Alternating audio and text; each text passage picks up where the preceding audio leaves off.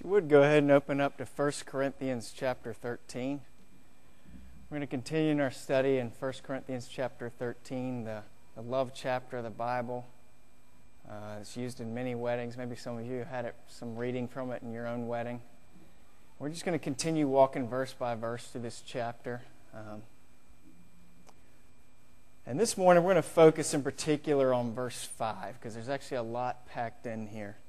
So if you would follow along with me in 1 Corinthians 13, verse 5. This is what it says, and it's talking about love here. So everything this chapter is referring to is referring to love, the love that we're to have toward other people. It says this it's talking about love. It says, Love, it is not rude, it is not self seeking, it is not easily angered, it keeps no record of wrongs. We're just going to kind of walk through piece by piece what's going on in here, and try to kind of unpack a little bit what this verse is t- teaching us here this morning. The first thing says that love is not rude. Uh, without elbowing the person next to you or pointing across the room, have you ever come across somebody who's been a little rude to you? Or maybe you've been rude to somebody else along the way in your life. I know we've all said things we shouldn't have said, we've done things we shouldn't have done and we've been rude to other people. Uh, but we need to learn more and more to improve in this area of being uh, more courteous toward other people because this is a big part of the love that God wants us to have for one another. See, some acts of rudeness that people do are a little more obvious and blatant, and some of them are a little more subtle.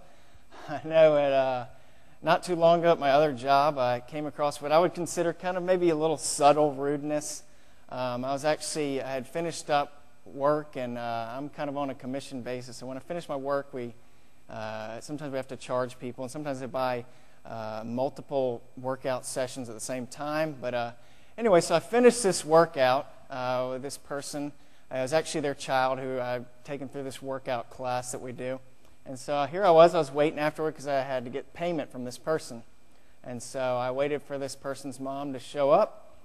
And I finished work at about 6.30, and it was my time to go home. You know, it's kind of my off time. I was ready to go home and kind of move on with my night and just kind of go home and relax. But uh, I ended up having to wait a little while uh, for this person to show up, about 15 or so minutes. It wasn't really a big deal. You know, I was just kind of checking email or something like that. And so I get there to receive the payment and start putting in the information. We don't have like a swiper. We actually have to type it in. I had to type in the credit card number and all that stuff and uh, I was having some problems. I put all the information in and I hit process, and it didn't go through. And so I was like, all right, let me try it again. And so it took a couple minutes. This person had to wait a couple minutes uh, as I tried to fumble around and get her uh, credit card to go through. Well, this person, she wasn't like mean about it. She didn't like insult me, but you could just tell, like in her attitude, started to like really tense up a little bit. And uh, she was just finally kind of like cut me off and was just like, you know, I, I got to go. We got to go. And she just really just kind of cut me off and just kind of, you know, um, just kind of left. She didn't like say anything mean, but her attitude kind of tensed up a little bit. And uh, she just said, you know what, I'll do it this other day. And she talked about like in a couple days when she comes back, she'll deal with it. And so, anyway, a couple days later, uh, she comes back, and uh, I go through the same process again. I put it through one time and uh, didn't go through. And I was like, she was like getting all tense up again. She's like, "Do you want me to read it to you?" You know, she's kind of just getting all tensed up on me again. And uh, I finally realized that I was actually doing it wrong. And I was actually putting, you know how sometimes they have the, uh, the when the card starts and then dash, the, then the expiration date. Well, I was actually putting in the front date of when the card got started, and that's why it wouldn't go through. So it's actually my fault. And she probably should have read it to me because I was just being uh, kind of dumb about it. But it was just kind of her. She had this little attitude about it. And I'm not the person to kind of like get into it or go back and forth because if I do, I'll lose business, obviously, in this kind of situation. So I was just like, all right. And, uh, but it's kind of like a little example like that. Um, it's kind of like what I would call like kind of maybe being subtly rude. Uh, the other times that rudeness can be a little more blatant. Uh, like the time I was actually driving up here Easter Sunday morning to come preach. Um, I was coming from Mount Pleasant. I came across the uh, Cooper River Bridge, and I'd just gotten on I 26. And overall, I would say I'm a pretty good driver. I mean, overall, I'm a pretty decent driver. I get a few tickets here and there. Uh, I've had a couple wrecks. I had one this year. It was pretty bad. Uh, but overall, I'm a pretty decent driver. Uh, but anyway, uh, this morning, you know, here I was on I-26 coming up towards Summerville. You know, there's two lanes on the highway and everything. And so I kind of start to shift over to change lanes. And then as I'm kind of in the process of changing lanes, I look last second, and there's a car right next to me. And so I kind of like jerked back in place in my lane, and obviously this person like honked and everything. And so they went up ahead of me along the road. And, uh, and about, within about a mile or so, I kind of just sped up and started to pass by this person. And as I pulled up next to them, and this is kind of funny to me, I think stuff like this is funny. As I pulled up next to them, I looked over at this person. I stuck my hand up and I was like, sorry. I was like, mouth the word sorry to this person. And uh, my, my apology, my spirit filled, loving apology, was met with a, uh, a hand sign, if you will. It was met with a little hand sign, uh, coupled with some very clear words to go along with that hand sign that were directed right at me.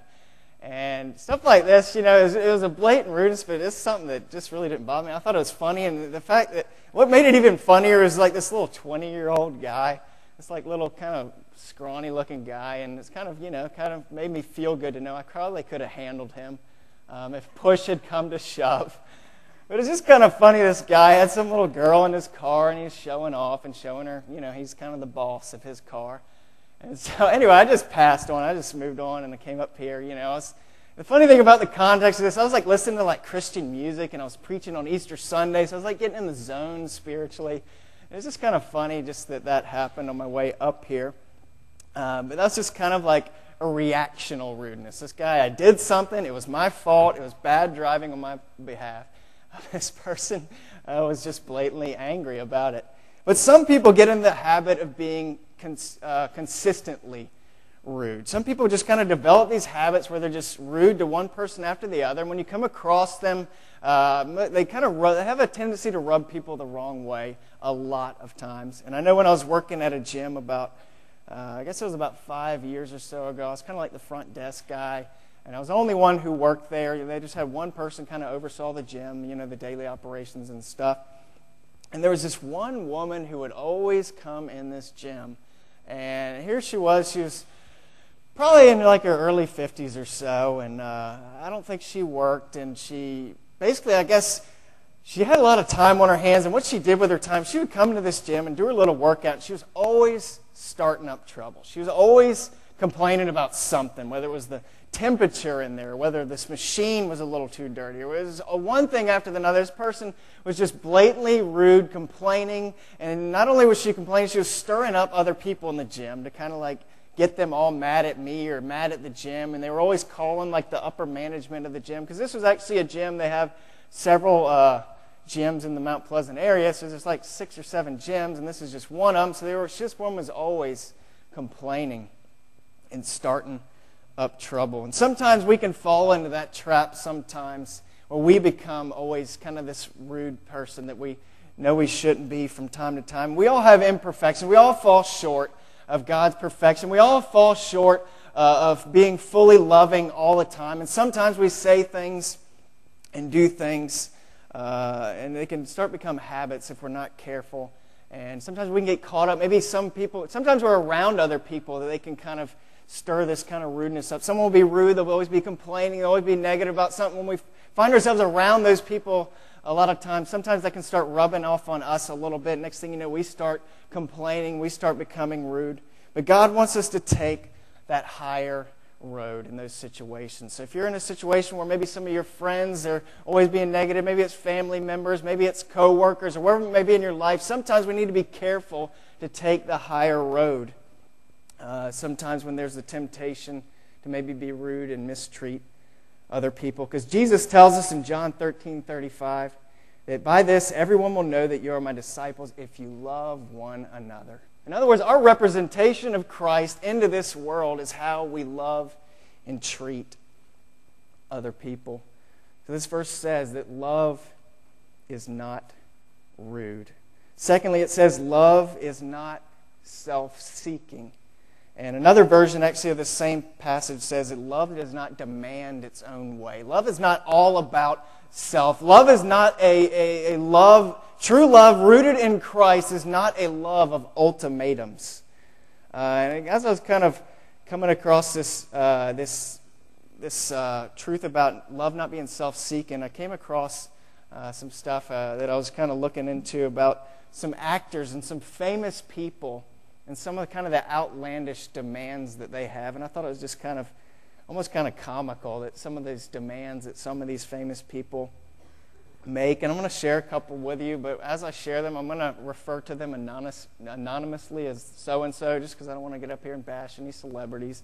Uh, uh, but anyway, so I'm going to read some of these kind of outlandish demands that some of these famous people that most of us have heard of uh, do.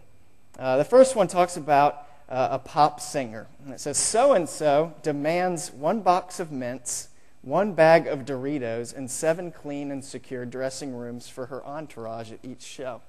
So that's uh, this one pop diva's demands. And then it talks about another pop diva. And there's actually several pop divas who have these kind of outlandish demands that I thought were kind of funny. Um, says here's, here's another one. It says so and so demands a lot more, referring to the one I just mentioned. It says, Before public appearances, her path must allegedly be prepared in advance with the scent of gardenia, and her hotel sheets must be Egyptian cotton with a thread count of at least 250. Recently, at a royal variety show in London, she allegedly demanded even greater security than the Queen. Not surprisingly, she received short shrift from the police. This is talking about someone that we've all heard of. Those are her demands, having Egyptian cotton with a thread count of 250. Uh, here's another one. Another. This is actually a, a girls' singing group. It says, and it refers to the group, says they refuse to drink from plastic or styrofoam, and always demand fresh ginger root and a jar of honey on tour. What that means, I have no idea. And it says, even probably the most famous one of all, or one of the most famous ones of all, it says, so and so has a special attendant in her dressing room just to hand her towels. And at publicity appearances, so and so demands that all posters of her pop rivals be taken down, especially those of, and then it names another pop diva. Uh, and then it goes on, and you know, I had a couple more that it goes on these outlandish demands. Uh, not surprisingly, a lot of them are these pop singers. But another one was actually an actor, a famous actor that we've all heard of. It says so and so once had a meal from his favorite Indian restaurant in London, flown in by private jet to Italy, where he was on holiday with so and so, and named his then famous wife. Those are some kind of outlandish demands that these people make, and it's almost kind of funny. I mean, I guess if you have that kind of money, I guess you can kind of do those things if you want. Uh, but this is just kind of a representation of how sometimes we can become uh, this kind of aura of self entitlement, sometimes that we can even develop in our own lives. And I know I had this kind of early on in my. I've kind of shared some of this before. When I first kind of got my calling to preach and everything, I, God had given me a clear cut vision. One time I was praying, there was actually a, a time in my life where I was praying, and God gave me a clear cut vision for my life. And as soon as that happened, I started to become so obsessed with this vision.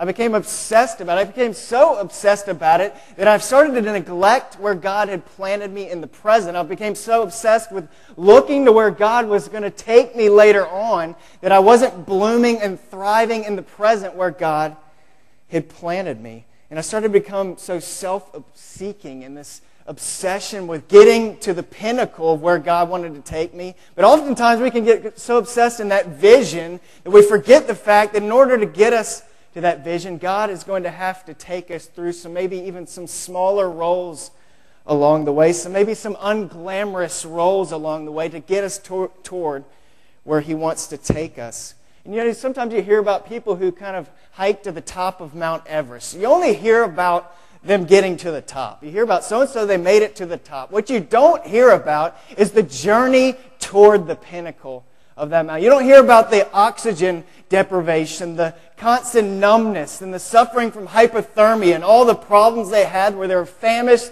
They wanted to turn back. They were tempted to probably call in helicopters to come get them off the mountain. You don't ever hear about the difficulties and the trials they had to go through to get toward that vision. And sometimes the same thing is true in our own lives. We become so obsessed to where God wants us to get in the future that we forget to be blooming right where God has planted us. And sometimes when we forget to bloom where God has planted us, it produces a discontentment in our heart. We become unhappy and we become unfruitful, all because we're not faithful to God in the present. And Jesus says that if you are faithful in the little things, you're going to be faithful in the bigger things. But if you're not faithful in the little things, you're sure as heck not going to be faithful to the bigger dreams that God wants to take you to later on in your life. But sometimes this, this self seeking attitude can get in our hearts and start to stray us from where God really wants us to go because in order to get to the great things that God has in store for each and every one of your lives, sometimes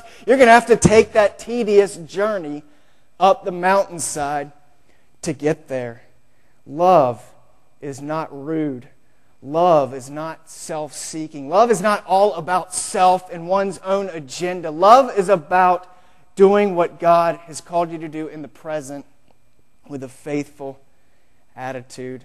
And thirdly, it says, love is not easily angered. And we talked a little bit about this last week the need to be kind to one another. The Bible says simply be kind one to another. And sometimes it's the hardest thing for Christians to, to apply to their life from time to time. So love is not easily angered.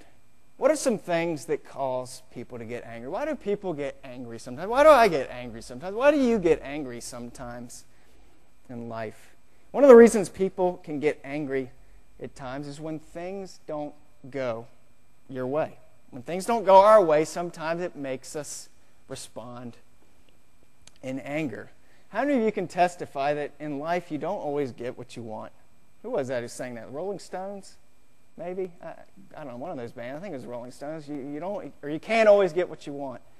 Um, but that's, that's the truth of our life. We don't always get what we want. And I know uh, one day uh, I was working at this same gym I just mentioned ago, uh, or a little bit ago. Uh, it's about, I guess, about five years ago. I think it was 2007. I was working at this gym, and it was actually it was a 24-hour gym. Okay, so a lot of times this gym didn't have someone working there. They just let, let the members, they would have this little slider where they slide their card and they can unlock the door and just get in and go work out any time of the day they wanted. Uh, but there was a holiday coming. It was like one of those Monday holidays. It was like, I think it was either like Labor Day or Memorial Day or one of those Monday holidays. And so this is a day where obviously a lot of people have the day off. Uh, but they, I guess they had asked me to work at the gym that day, you know, just to kind of oversee things. Uh, because, you know, at a gym where you can have a membership just card and swipe it in, anybody can kind of come in and just use it. And so here I was sitting there uh, at the desk, and I was actually in kind of a low chair, kind of just hidden. They kind of just had, had me just kind of manning the fort down a little bit. I wasn't really uh, doing much that day. But a woman comes in. This was a regular a member that I saw a lot at this gym. Uh, she slides her car to come in, and she has a man with her, which turned out to be her husband. And being there all the time, I knew that this man was not a member because I pretty much recognized everybody who came in. And so uh, they were kind of like walking in the gym. I think I kind of surprised them because I was sitting there, and I just said, I stopped them for a second. And basically, I ended up not letting this people in. She basically what she was trying to do is sneak her husband in for free. You know, was a more day. No one was going to be there. Let's go work out. I'll get you in my card. And so I stopped him and did my duty and said, basically, you got to pay. And they didn't like that too much. And this woman didn't like the fact um, that her husband had to pay. And what what happened? She ended up getting angry and ended up they ended up leaving and all that kind of mess. Uh, but the truth of the matter is, the bottom line in this situation is she didn't have her way. Uh, obviously, she was doing th- something that was a little kind of shady as far as integrity is concerned, but she didn't get her way, so she got mad and ended up leaving. And the same kind of truth can happen in our own lives sometimes when we don't get our own way, and it makes us mad sometimes. And we need to be careful. Uh, the Bible talks about uh, being quick to listen, slow to speak, and slow to become angry. We need to be slow to become angry because that's the love that God wants us to exemplify to this world. Another thing that can make people angry is when people don't see things the way that they do.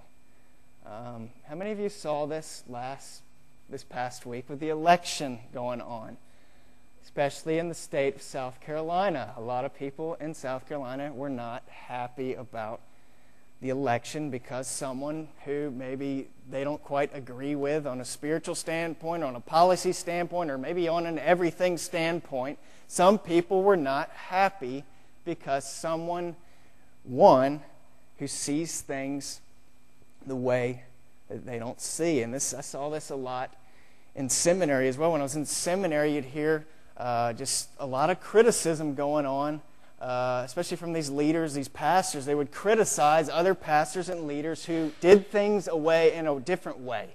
They basically, they had, they had their churches and their leadership style was a lot different than what their style was, and therefore it led them to be critically angry toward other people.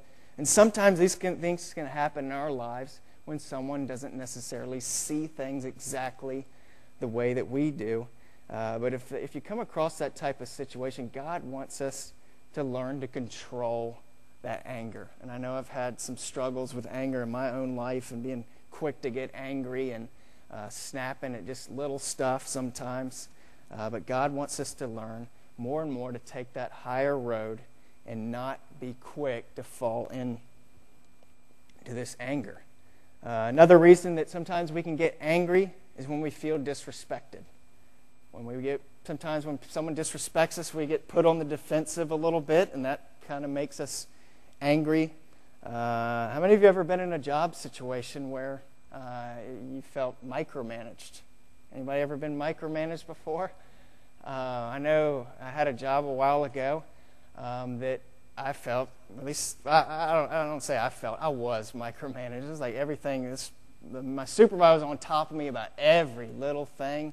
And it was like it was no like, here's your job, let me trust in your abilities to accomplish. It was like, all right, it was just like every little detail of every little thing I did, um, I felt micromanaged. Uh, whether, you know, I'm sure there was times in the job where I was in the wrong, where she was in the right, and all that stuff, and vice versa. Uh, but the ultimate truth is, is I felt disrespected by it a lot, and it made me mad a lot um, because I felt disrespected. And maybe some of you are going through some situations where you feel like someone's not totally respecting you. Maybe it's at your job, maybe it's at your home, or wherever it may be. Sometimes we go uh, through times in our life where we're going to feel disrespected, and we need to, even more in those situations, learn to take that higher road and learn more and more. And I'm still in the process of learning. I haven't ar- arrived by any means. We need to learn more and more to let stuff roll off our shoulders. Um, and I know I need to improve in this area a lot. Um, but I know uh, this can happen a lot in our lives if we're not careful. We can be quick to get angry, just even over trivial stuff sometimes. And fourthly, this verse says, uh, it says that love is not rude, love is not self seeking, love is not easily angered. And then lastly, it says, love keeps no record of wrongs. Love keeps no record of wrongs. Um, it's easy to get up here and read that verse, but to actually apply it to your life and to maybe people that have caused you hurt or pain or been insulting toward you, it's a lot more difficult to apply sometimes. And uh, I know I've had times in my life where I've felt hurt. I've felt I've had the actions of somebody else cause me some problems in my life. Um, it caused me even long-term problems, just I struggled with bitterness. I struggled with holding a grudge.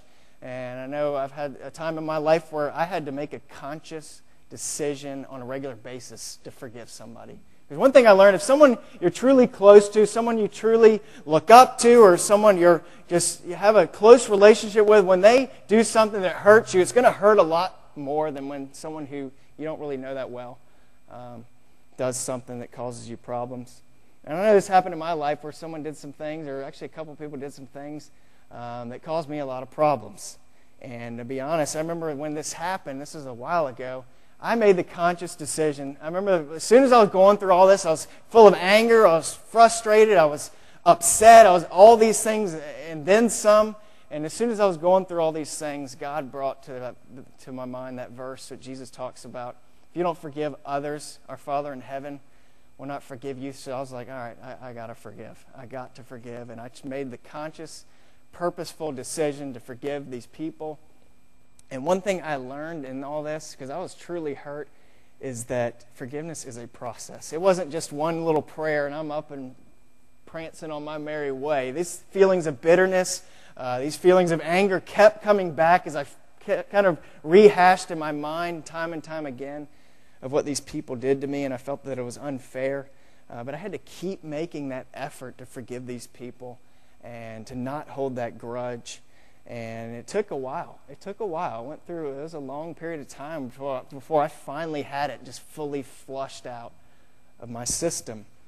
We need to be careful uh, not to hold these grudges. It doesn't matter if someone did something just atrocious to you when you were younger, someone abused you, someone didn't treat you right, someone abandoned you. No matter how long ago it may have been, uh, sometimes those same feelings, when you think about the injustice, come back to your mind. You can start to get that anger. You can start to get that frustration and bitterness You can start to stir back up inside of you.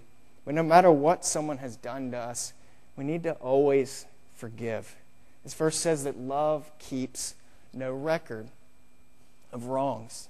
Uh, but sometimes it's a lot easier to point out uh, the, the shortcomings of other people and how other people mistreated us than it is to even recognize our own shortcomings sometimes. Because I can kind of look at my life a little bit and these things that were done to me that I felt were unfair and unjust, I can look back and see where I've kind of done some similar things to other people in my own life. Uh, but sometimes it's a lot easier to focus on what others have done to you than, than what it is to than it is to focus on what you have actually done to others. And Jesus actually talks about this in Matthew 7. Uh, this is what he says in verses 3 through 5. He says, Why do you look at the speck of sawdust in your brother's eye and pay no attention to the plank in your own eye? How can you say to your brother, Let me take the speck out of your eye, when all the time there is a plank in your own eye? And he says, You hypocrite, first take the plank out of your own eye, and then you will see clearly to remove the speck from your brother's eyes. And instead of focusing on what someone may or may not have done to you, sometimes it's better to focus on uh, maybe our own eye and how we're treating other people. So, what is it in your life that maybe God wants you? Uh, maybe there's an area of improvement. Maybe we've talked about something that's kind of resonated with what you're going through or something in your life, and maybe you realize that you've fallen a little short in this area of love. Uh, maybe, maybe it's rudeness. Maybe it's not being nice to someone you should be nice to. Maybe even uh, someone in your family. Maybe someone, one of your coworkers. Or maybe it's just being more respectful to those who are in authority over us. Uh, maybe some of us need to improve in the area of being just nicer to other people. Or maybe it's that self-seeking kind of self uh, self entitlement thing. Sometimes we can fall into. Sometimes we get so concerned with our own agenda. Sometimes uh, that we forget uh, where God has placed us in, and to enjoy uh, the present role that God has placed us in. Maybe some of you uh, need to improve in the, in the area of self seeking, maybe, maybe being a little bit more selfless in what God has called you to do. Or maybe it's the anger. Uh, I know this is something I had some major issues with in the past. I can't say I've fully arrived, but maybe some of you have some struggles with anger as well, and you're easily angered and quick to get angry. Um, that's not who God has called us to be. And maybe as this morning, as we go into a time of prayer, maybe that's something that you need to address with God. Um, because when we actually humble ourselves and address and be honest with God, that hey, you know, I'm, I'm a little short here, God. Uh, maybe I little, need a little bit help, of help here. It's usually when we humble ourselves like that that God is able to get inside of us and, and bring that renewal, bring that spiritual, he starts breathing that spiritual life into those areas in which we are weak. And then it says, uh, it talks about keeping record of no, not, not keeping record of wrongs. Maybe some of you have had someone do something to you recently, or maybe it's been something that's been a long time ago and you're still struggling with that forgiveness to let go of the past. Who is it that God wants you to forgive once and for all and keep no record of wrongs.